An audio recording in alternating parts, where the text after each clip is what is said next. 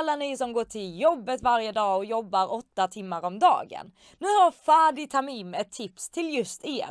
Han tycker nämligen att man arbetar för långa dagar i Sverige och han vill hellre se fyra timmar arbetsdagar som i hans hemland i Syrien. Fadi och Vänsterpartiet har mycket gemensamt här.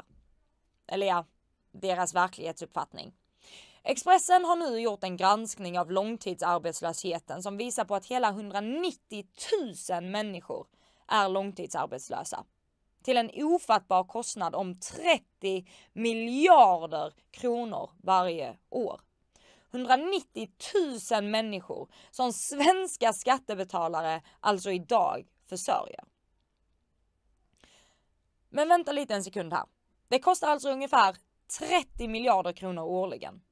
Samma summa på 30 miljarder årligen skulle exempelvis räcka till att ge Sveriges cirka 300 000 fattigpensionärer ungefär 8 000 kronor mer i månaden. Och Socialdemokraterna har ju gjort det till sin paradfråga att höja pensionerna. Hur gick det? Jo, istället prioriteras pengarna till bland annat bidrag till sexbarnsmammor från Somalia som inte lärt sig svenska på åtta år.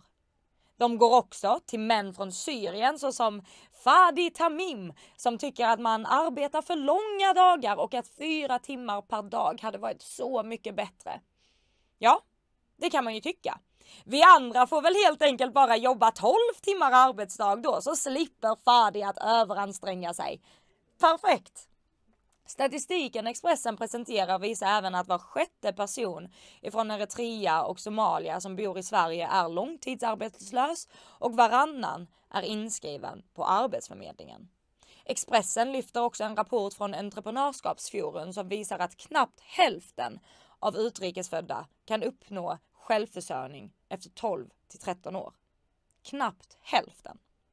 Samtidigt lyfter Expressen personer såsom Shukri Mohammed Hassan från Somalia som har under de flera åren som hon har varit i Sverige försörjt sig på bidrag. Då har hon fått ut 32 000 kronor i månaden. Hon säger att Sverige är ett bra land. 32 000 kronor i månaden. 32 000 kronor i månaden i bidrag. Hur är detta ens rimligt? Låt oss leka med tanken, du kommer från Somalia och behöver inte lyfta ett finger, du behöver inte jobba och du behöver inte lära dig svenska och du får alltså ut 32 000 kronor i månaden. Det är helt absurt. Snittlönen för en sjuksköterska i Sverige som sliter dagligen i vår svenska vård ligger ungefär på 24 000 kronor efter skatt. Men en somalisk kvinna som inte gör någonting mer än att belasta välfärden får ut 32 000 kronor i bidrag.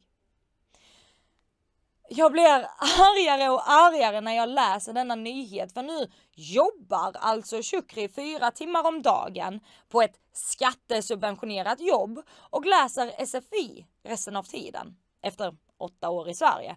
Hon motiverar det med att hon vill hjälpa Försäkringskassan och jag citerar. Det känns bättre att arbeta och så behöver Försäkringskassan inte betala mig lika mycket.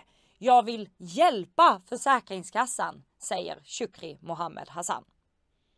Shukri vill alltså hjälpa Försäkringskassan.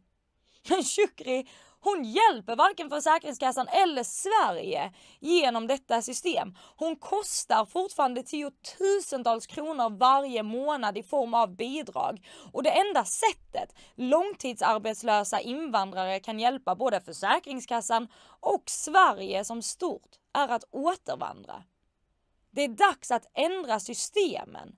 Det är måste ändra systemet när en sexbarnsmamma kan få 32 000 kronor i månaden i bidrag och när män från Syrien inte går till jobbet och tycker våra arbetsdagar är för långa. Det är väl knappast rättvist på något sätt att hårt arbetande svenskar ska betala för invandrare som hellre går på bidrag och inte lär sig svenska. Eller vad tycker du?